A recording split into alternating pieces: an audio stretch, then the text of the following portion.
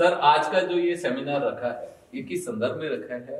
कौन कौन सी ऐसी जानकारी है जो यहाँ पर प्रोवाइड करवाई जा जी जी मैं Sitaram Yadav deputy director Rajasthan state Xpro society Jaipur से हूँ और मेरा काम मोस्टली मुख्य धारा से है और जो ये आज एक्टिविटी है वो राजस्थान युवा बोर्ड के साथ में और राजस्थान स्टेट स्पोर्ट्स काउंसिल के साथ में एक्टिविटी है।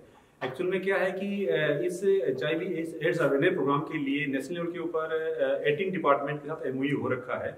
उस एम के तहत हेल्थ डिपार्टमेंट के साथ साथ में जो डिपार्टमेंट के साथ एम हो रखा है, उनको भी H I V awareness activity करनी होती है।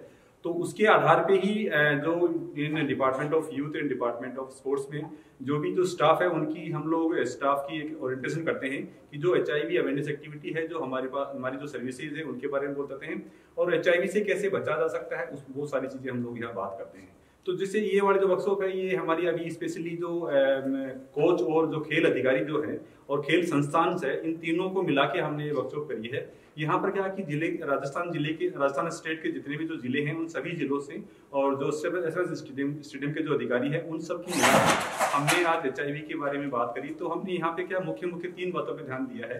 पहली जैसे मान लो एचआईवी जो एचआईवी जो वायरस है, वो शरीर में कैसे जाता है और क्या काम करता है, उस पर बात करी हमने। और वो एच जो शरीर में जाने के बाद में एक ऐसी अवस्था आती है आज से दस साल बाद में, जब वो किसी बीमारियों से लड़ने की क्षमता कम हो जाती है, उसकी इम्यून सिस्टम कमज़ोर हो जाता है, उस उस अवस्था को हम एच आई एड्स बोलते एड्स बोलते हैं। और उस एड्स के बाद में जितनी भी जो अदर डिज़ीज़ जो आती है ओ जिसे बोलते हैं अपॉर्चुनिटिक इन्फेक्शन हो जाता है तो वो उसका ट्रीटमेंट के लिए हमारे पास सेंटर है। तो वो एचआईवी और एड्स की बात करी हमने आज। और दूसरा जो हमारा जो एचआईवी के साथ में हमारी जो सर्विसेज़ जो है हमारी जो राजस्थान सरकार में, वो हमारी जो जो हमारी state nodal agency Rajasthan state AIDS society उसके अलग अलग डिवीज़न है, हमारा बेसिक सर्विस डिवीज़न है, जिसके अंदर हम लोग एचआईवी की टेस्टिंग जो होती है, वो केवल और केवल हमारा जो एच सेंटर जो है, जिसको बोलते हैं आईसीटीसी आईसीटीसी पे हमारे यहाँ जाँच होती है और जाँच होने के बाद में जो आइडेंटिफाई होते हैं जो बंदे, उनकी, उस आईसीटीसी पे हमारी खासियत बात है कि वहाँ पर जो बच्चा, जो भी व्यक्ति जाँच करने आएगा, उसकी जाँच गोपनीय रहेगी और बिल्कुल गोपनीयता मेंटेन करके और उससे कंसर्न लेके ही की जाती है। फिर वहाँ पे जब एच पॉजिटिव आ जाता है तो उसको हम लोग, हमारा एक दवा का केंद्र होता है, जिसे ए सेंटर बोलते हैं एंटी रिट्रोवायरल थेरेपी ट्रीटमेंट बोलते हैं। वहाँ पर हम लोगों को रेफर करते हैं और वहाँ से वो लोग उसकी दवा लेते हैं। और इसमें स्पेशली ये है कि ये वायरस जो है शरीर के अंदर हमेशा के लिए रहता है उस व्यक्ति में, और ये ह्यूमन स्पेसिफिक वायरस है, ये केवल केवल मानव शरीर में ही जीवित रहता है और कहीं जीवित नहीं रहता है। तो एक्चुअल में जो ये वायरस है, शरीर में जाने के बाद में इसको हम मार नहीं सकते या उसको नष्ट नहीं कर सकते। इसीलिए जो हमारी जो दवाइयाँ होती है, वो जीवन पर्यंत लेनी पड़ती है। और उन दवाइयों में होता क्या है कि वो दवाइयाँ इस वायरस को फैलने नहीं देते हैं। जो जिस मात्रा में जो वायरस होता है, वो उस मात्रा में ही हम रख लेते हैं और उसको जीवन पर्यंत वो वायरस उसके शरीर में रहेगा। लेकिन कोई दिक्कत नहीं आएगी। वो पूरा जीवन जैसा सामान्य जीवन है, वैसे गुजार सकता है, वैसे ही रह सकता है। तो ये सब जानकारियाँ जो है, हम लोग हमारे जितने भी जो लोग हैं, उनको देते हैं।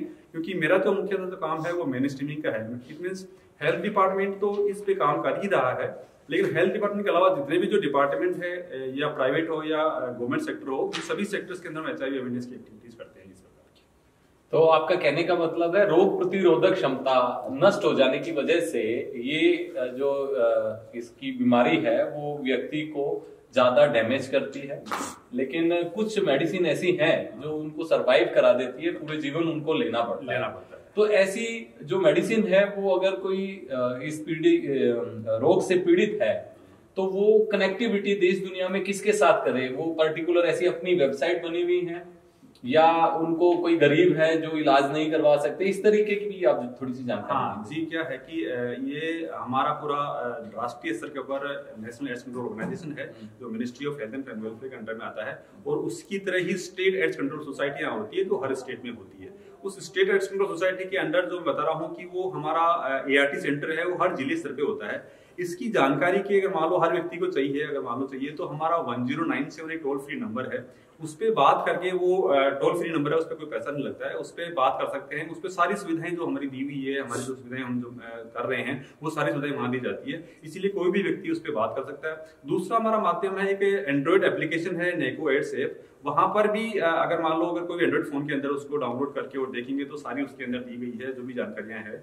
और उसमें खास बात एक और है वहाँ उस एप्लीकेशन के अंदर रिस्क कैलकुलेटर है। अगर कोई भी व्यक्ति चाहे कि जैसे मुझे एचआईवी हो सकता है या नहीं हो सकता वो चीज़ उस रिस्क कैलकुलेटर द्वारा देखा, देखा जा सकता है। तो ये हमारी बहुत अच्छी एप्लीकेशन है। तो हम ये भी मैसेज देते हैं कि वन ज़ीरो नाइन पे कॉल करें और हमारा जो एंड्रॉइड एप्लीकेशन जो एप्लीकेशन है नाको एड्स है उसके उसके ऊपर जाकर हम जानकारी ले सकते हैं। Thank you so much